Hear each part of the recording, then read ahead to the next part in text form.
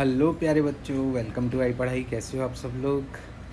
देखो, अभी तक हम लोगों ने पोटेंशियल और पोटेंशियल एनर्जी के बारे में डिटेल में सब कुछ अच्छे से डिस्कस कर लिया है।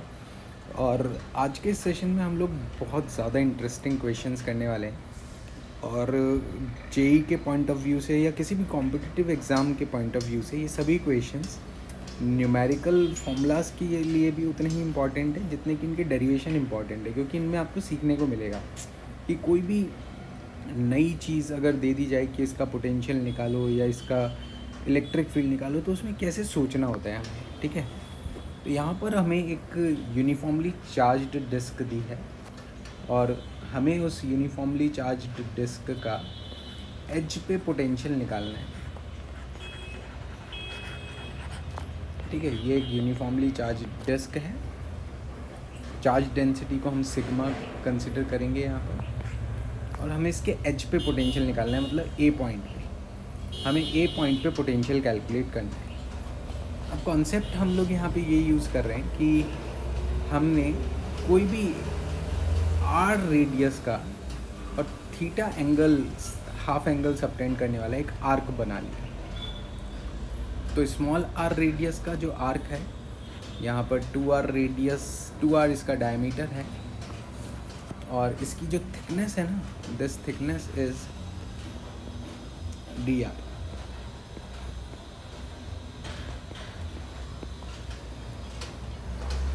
अब देखो what is the potential of arc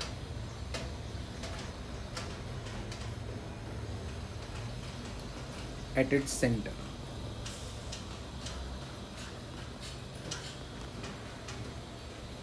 तो बहुत ही सिंपल सी बात है यार। मान लो ये एक आर्क है। इस आर्क पे अगर क्यू चार्ज है और इसकी वजह से मुझे सेंटर का पोटेंशियल निकालना है तो इसके किसी भी एलिमेंट का सेंटर से जो दूरी होगी, वो रेडियस आर के बराबर है। इस एलिमेंट का चार्ज है डी क्यू तो इस पॉइंट चार्ज की वजह से पोटेंशियल डी वी हो जाएगा। के डी क्यू बाई आर और ऐसे हम सभी एलिमेंट्स का पोटेंशियल यहाँ सेंटर पे कैलकुलेट करेंगे तो उन सब का सम करेंगे वी बन जाएगा D V plus D V plus D V and so on it is K by R common हो जाएगा। D Q plus D Q क्योंकि एल्जेब्रिक सम है ना तो इन सब का addition and it will become K Q by R ये आ गया। अब क्या? अब अगर हम यहाँ से एज पे पोटेंशियल निकालना चाहें तो मैं इस कॉन्सेप्ट को यूज़ कर सकता हूँ। मैंने अब एक आर रेडियस थीटा एंगल का आर्क ले लिया। अब हम लिखेंगे D V potential of the arc is K D Q by small R D Q को हम लिखेंगे sigma into area is R into two theta into D R तो डी वी हो गया K sigma R into two theta into D R divided by r. It is sigma 2 sigma upon 4 pi epsilon के को expand कर दिया theta into D are ये मैंने integrate करके नेट पोटेंशियल निकाला। अब देखते हैं कि इसके आगे क्या कर सकते हैं, क्योंकि अब हमारे पास दो वेरिएबल आ गए थीटा और डी आर अब इसको रिलेट करने के लिए मैं ये कह सकता हूँ कि टू आर का कॉस थीटा जो है, वो स्मॉल आर है।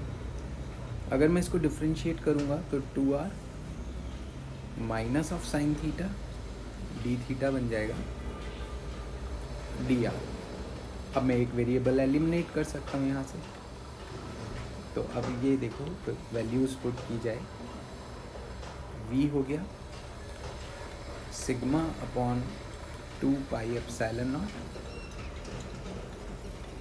integration of theta multiply by minus two R sine theta D theta D R की जगह रख दिया। यहाँ से अब हमारे पास टू से ये टू कैंसिल सिग्मा और capital R with negative sign बाहर और पाई एप्साइलन नॉट बाहर। Integration of theta sine theta D theta बचा। और देखो लिमिट्स क्या होंगी तो इसकी जो सबसे पास वाली आर्क बनेगी वो ये वाली होगी और सबसे दूर वाली आर्क बनेगी वो ये वाली होगी। तो सबसे पास वाली आर्क के लिए मेरा एंगल थीटा जो है, वो टेंडिंग टू 90 डिग्री है। और सबसे दूर वाली आर्क के लिए मेरा जो थीटा है, वो टेंडिंग टू ज़ीरो डिग्री है। तो इसका मतलब हो गया, इसका लिमिट होना चाहिए 90 से zero degree minus sigma R upon pi epsilon और theta as it is sine theta का इंटीग्रेशन माइनस कॉस थीटा फिर माइनस साइन थीटा का differentiation one into minus cos theta D theta now it is minus sigma R upon pi epsilon and minus theta cos theta plus sine theta from zero ninety degree to zero degree zero degree पे हमारे पास ये zero हो जाएगा, ninety degree पे भी ये zero हो जाएगा मतलब फ़र्स्ट टर्म तो ज़ीरो हो गई, और second term zero minus one तो इट बिकम्स वन तो कुल मिला के नेगेटिव साइन हट गया, और पाई एप साइलन नॉट ये बच गया। तो this is the potential at the edge of the desk किसी भी डेस्क के एज पे इतना पोटेंशियल होता है। बहुत ही सिंपल तरीका है। डेरिवेशन बहुत इंटरेस्टिंग है, क्योंकि यहाँ पे एलिमेंट लेना सिग्मा से चार्ज लिखना, ये सारी चीज़ें फ़र्स्ट टाइम में क्लिक बहुत रेयर कंडीशंस में ही हो सकता है, क्योंकि देखो एक आर्क मान के करना, ये एक बिल्कुल नया मेथड है। हम जनरली स्फेयर में शेल मान लेते हैं स्फेयर में डिस्क मान लेते हैं, बहुत सारे और तरीके करते हैं, लेकिन डिस्क पे आर्क समझ के करना ये एक नई चीज़ है। ठीक है बच्चों? नेक्स्ट स्टार्ट करते हैं देखो। नेक्स्ट टॉपिक है हमारा। इलेक्ट्रिक पोटेंशियल और इलेक्ट्रिक फ़ील्ड में रिलेशन तो देखो ये भी बड़ी इंटरेस्टिंग चीज़ है जो हमें हमेशा ध्यान रखनी है। आ, हम जानते हैं कि potential energy is work done by external agent to bring a charge from one position to other position है ना? Against electric field. तो अगर हम एक चार्ज को इलेक्ट्रिक फ़ील्ड के अगेंस्ट यहाँ से यहाँ लेकर जा रहे हैं तो देखो इस चार्ज पे इलेक्ट्रिक फ़ील्ड का फोर्स लेटर सपोज़ टेंजेंशियली इधर लग रहा है। अब इसको बैलेंस करने के लिए हमें अपना फोर्स इधर लगाना पड़ेगा एक्सटर्नल फोर्स तो ऐसा क्यों? क्योंकि हमें इसको स्लोली मूव कराना है विदाउट एक्सेलरेशन मूव कराना है। तो हम ये कह सकते हैं कि एक्सटर्नल फोर्स किसी भी चार्ज पे और इलेक्ट्रोस्टैटिक फोर्स का सम हमेशा ज़ीरो होगा। इसका मतलब एक्सटर्नल फोर्स का work done plus electrostatic force का वर्क डन का सम भी ज़ीरो होगा। इसका मतलब ये हो गया कि एक्सटर्नल एजेंट का work done negative of electric field का वर्क डन होगा। चलो, यहाँ तक तो ये समझ में आया। अब इससे हम change in potential energy delta U को चेंज इन पोटेंशियल एनर्जी को नेगेटिव ऑफ़ इलेक्ट्रिक फ़ील्ड का वर्क डन लिख सकते हैं। अब ये चीज़ हम ऐसे कन्वर्ट कर सकते हैं कि it is electrostatic force dot D R force into displacement और यहाँ से हम minus of Q E dot D R अब ये क्या बनेगा देखो? Delta U by Q is equals to minus of integration E dot D R and what does this represent? U final पर unit charge minus U initial पर unit charge is equals to minus of E dot D R potential energy पर unit charge is electric potential this is known as electric potential ये हमने discuss किया हुआ है कि potential energy जो होता है, वो चार्ज इनटू उस पॉइंट का पोटेंशियल होता है। तो यहाँ पर हमें मिल गया V final minus V initial is equals to minus of E dot D R ये है integral form of potential difference and electric field if we differentiate both sides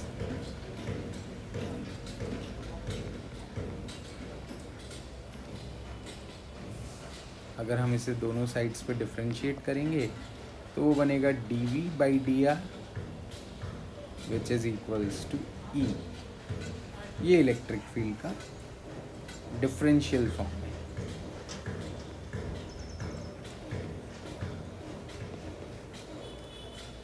और ये इलेक्ट्रिक फ़ील्ड का इंटीग्रल फॉर्म है।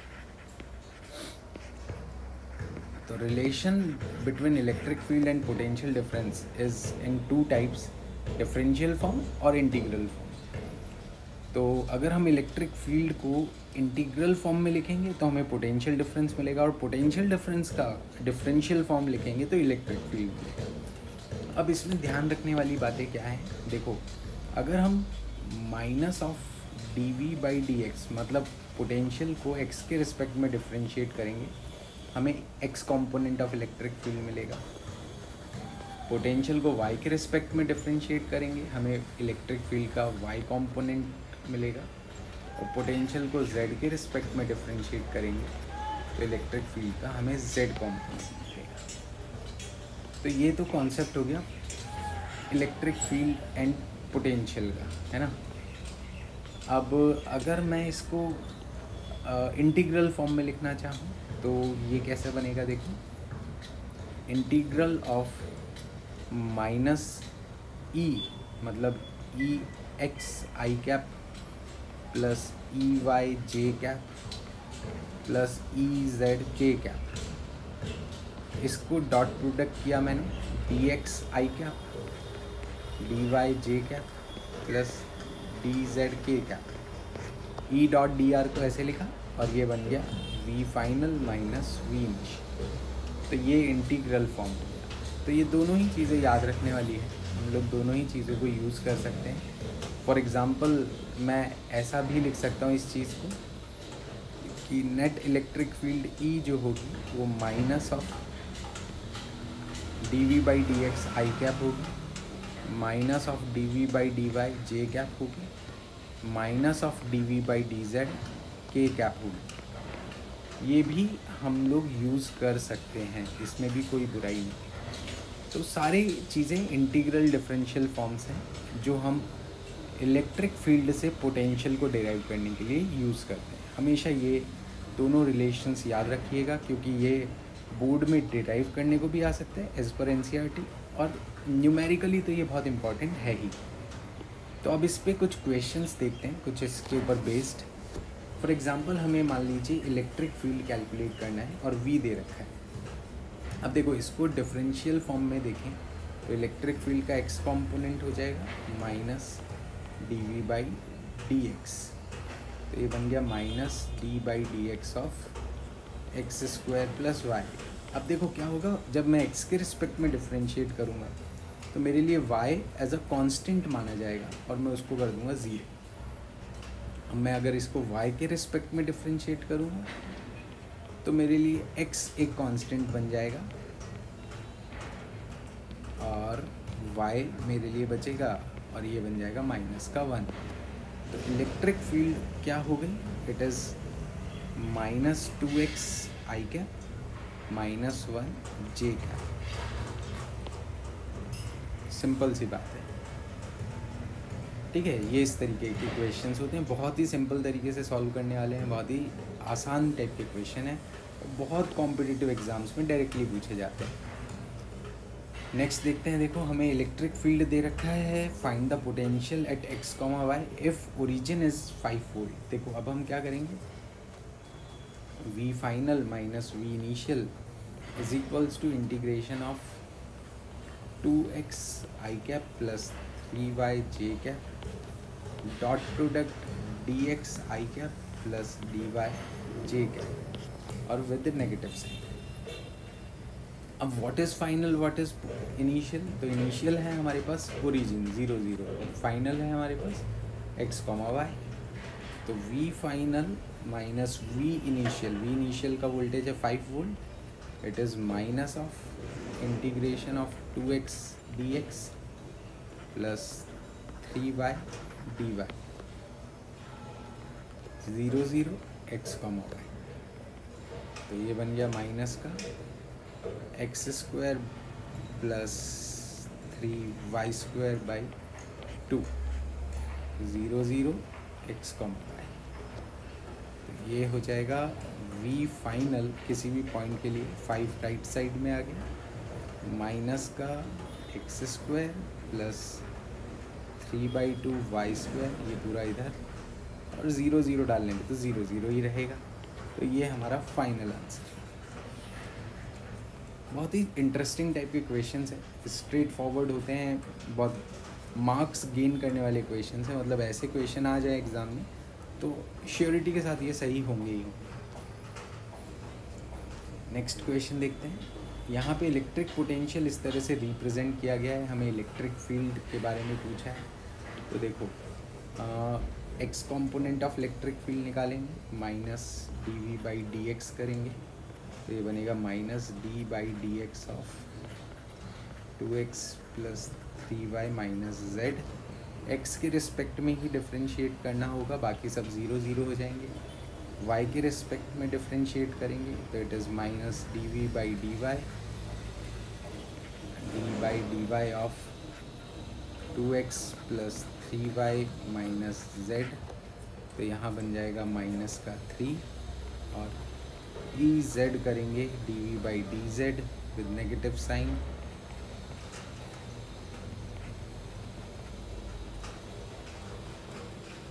और ये बन जाएगा वन तो इलेक्ट्रिक फ़ील्ड आ गई हमारे पास. Minus two i cap minus three j cap plus one k cap तो ये एकदम सिंपल टाइप का क्वेश्चन है। देखो, कुछ भी वेरिएशन नहीं है। हमने तीन सवाल के तीनों एकदम straightforward formula based question है। और सिंपल सी बात है यार, या तो डिफरेंशियल फॉर्म यूज़ होना है या इंटीग्रल अगर पोटेंशियल दिया है तो डिफरेंशियल फॉर्म यूज़ करके इलेक्ट्रिक फ़ील्ड निकालो। इलेक्ट्रिक फ़ील्ड दिया है तो इंटीग्रल फॉर्म करके पोटेंशियल निकालो। सिंपल सी चीज़ है। नेक्स्ट देखो अगर हम इन इंटीग्रल डिफरेंशियल फॉर्म्स को यूज़ करके potential due to straight rod calculate करें, है ना? इनफाइनाइट लाइन चार्ज की वजह से पोटेंशियल निकालें। तो हमें पता है इसकी इलेक्ट्रिक फ़ील्ड का एक्सप्रेशन क्या होता है? It is two k lambda by r this is electric field अब हम इसकी वजह से पोटेंशियल निकालना चाहें तो delta v is minus of e dot d r ये यूज़ करेंगे। ई e की जगह सब्सटीट्यूट कर देते हैं। Two k lambda by r dot d r minus का two k lambda integral d r by r minus का two k lambda l n of r अब देखो इनिशियल और फाइनल पोजीशंस यहाँ पे हमें मार्क करनी होगी। मतलब आर ए और आर बी मान लिया हमने दो पोजीशंस तो ये बन जाएगा माइनस का two k lambda l n of r b by r t this is potential difference delta v due to a long rod मतलब देख रहे हो, सारी चीज़ें अगर फॉर्मूला पता हो इलेक्ट्रिक फ़ील्ड का तो पोटेंशियल निकालना कितना आसान हो जाता है, इस तरीके से। That is very interesting method right अब जैसे कंडक्टिंग स्फीयर की वजह से पोटेंशियल निकालना है तो कंडक्टिंग स्फीयर के लिए हमें पता है electric field inside the sphere is zero conducting के अंदर फ़ील्ड ज़ीरो होता है और बाहर के लिए फॉर्मूला होता है के क्यू बाई आर स्क्वेयर अब मुझे इसके लिए पोटेंशियल कैलकुलेट करना है बाहर किसी पॉइंट पे.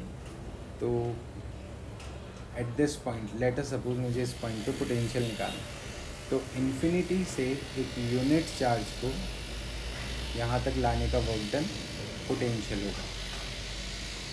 अब मैं इसको हमारे इस रिलेशन से करूँ। Delta v is equals to minus of e dot d r और लिमिट्स में इन्फिनिटी से इस पोजीशन तक की लगा देता हूँ। तो ये बन जाएगा minus of k q by r square d r from infinity to r k q as it is रहेगा. वन अपॉन आर स्क्वायर का माइनस वन बाई आर हो जाएगा. इन्फिनिटी से आर लिमिट्स हो जाएँगी.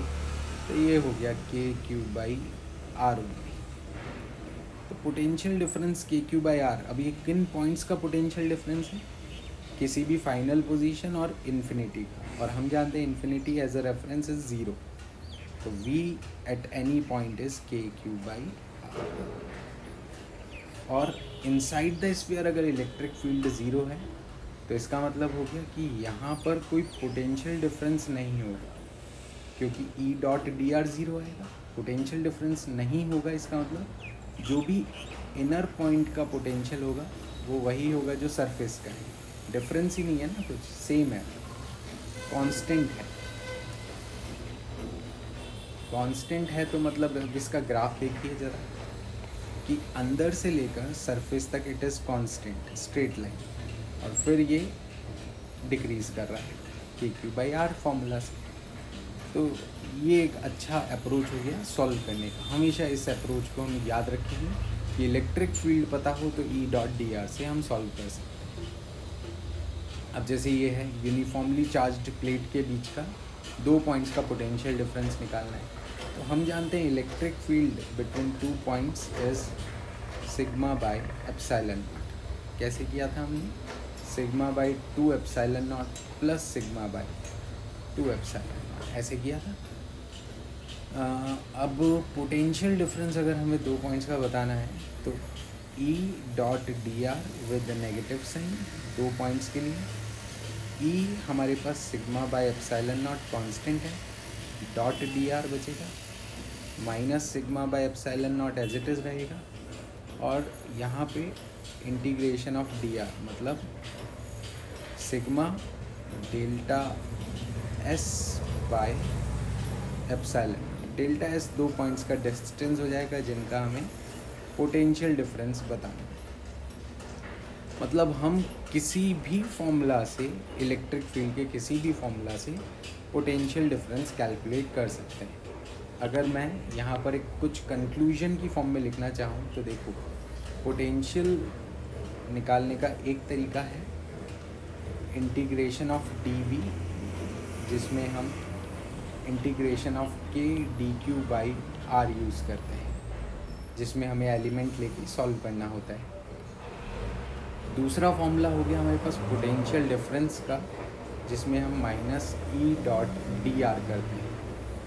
अगर मुझे एक फिक्स्ड पॉइंट का पोटेंशियल बताना है तो मैं v minus v infinite is equals to minus of e dot d r from infinite to a given position ये भी यूज़ कर सकता हूँ, जो मैंने एक स्फेयर के लिए किया है। ना? ये कॉन्सेप्ट यूज़ करूँगा to find potential of fixed position. तो ये सारी कंडीशंस हैं। अगर हम पोटेंशियल के साथ साथ इलेक्ट्रिक फ़ील्ड को रिलेट करें तो it is minus d v by d x e y is minus d v by d y e z is minus d v by d z तो इस तरीके से मैं पोटेंशियल को दो मेरे पास अप्रोच हो गई जिनसे सॉल्व करके आरा, आराम से निकाल सकता हूँ। तो सबसे फ़र्स्ट प्रेफरेंस मेरे पास क्या रहेगा? If I know electric field ये गिवन है तो मैं potential difference integration of e dot d r से निकालूँगा। अगर मुझे इलेक्ट्रिक फ़ील्ड नहीं पता तो मैं इस मेथड से कैलकुलेट करूँगा। लाइक like, डिस्क के एज पे पोटेंशियल निकालना है। मुझे नहीं पता इलेक्ट्रिक फ़ील्ड क्या होती है तो मैं वहाँ पे ये यूज़ करूँगा। अगर मुझे डिस्क की एक्सेस पे पोटेंशियल निकालना है तो मुझे पता है इलेक्ट्रिक फ़ील्ड क्या होती है। मैं यहाँ पे पोटेंशियल डिफरेंस उस तरीके से निकाल सकता हूँ। तो आई होप बच्चों, आप सभी लोगों को पोटेंशियल और पोटेंशियल डिफरेंस और इलेक्ट्रिक फ़ील्ड इन सबको एक साथ यूज़ करना अच्छे से समझ में आ ही गया होगा। अगर आपको यहाँ तक कोई भी डाउट है, कुछ भी चीज़ आप इसके रिगार्डिंग पूछना चाहते हो तो प्लीज़ कमेंट बॉक्स में टाइप करो. I will definitely answer you and please keep connected and stay healthy thank you so much for watching this session.